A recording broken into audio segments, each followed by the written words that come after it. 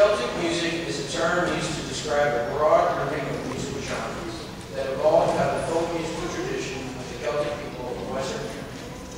What Child Is This is a popular Christmas carol written in 1865 by William Chatterton Dix. At the age of 29, the English writer was struck with a near fatal illness and was confined to bed rest for several months, during which he went into deep depression.